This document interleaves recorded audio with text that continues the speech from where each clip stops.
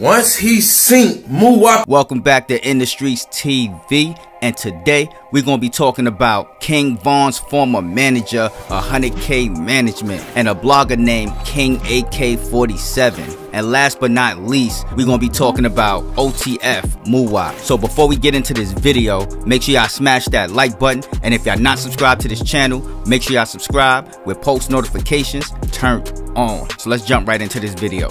So the word on the street was King Von's former manager, 100K, was the one snitching to the feds that got O-Block taken down, according to a few other blogs that reported on that all this week. Now this all goes back to FBG Duck getting hit up down in Chicago's Gold Coast. Now while everybody was blaming King Von former manager 100k management for snitching, the blogger by the name of King AK47 did a detailed video on who did what, who was where, who was related to who, and who set up FBG Duck and who pulled the trigger. Once he seen Muwop in the, in the car, he turned to the nigga, man. The same and seen that reaching for his. They shot Duck and Duck shot him. How do I know this?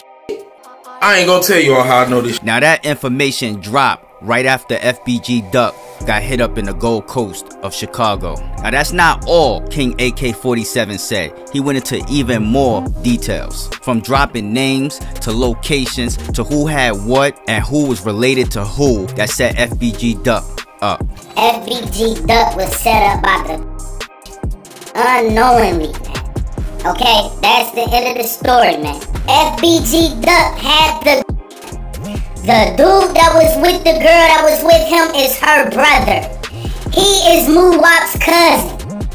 The brother, which is the dude laying on the ground with FBG Duck, set Duck the fuck up and knew it the whole time. So basically, FBG Duck got set up by the female and the dude. The dude was related to Muwop according to King AK-47. So who's the real snitch here if y'all gonna call somebody a snitch? Is it King AK-47 or is it a 100K management? I mean, let me know down below in the comment section. But moving right along. So 100K management said, King AK-47, you broke this story wanting to make me a target. At that time, you painted a false narrative, no different than what the police are doing ironically.